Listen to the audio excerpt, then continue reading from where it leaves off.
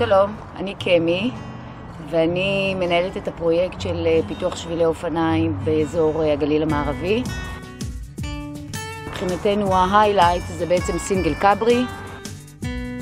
הייחוד שלו זה שזה שביל באזור נחל שעל, שנכנס לתוך חורש טבעי.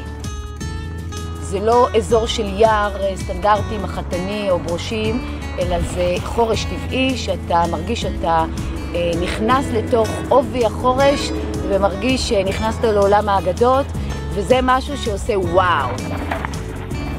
זה כברי, אני אישית מתה עליו.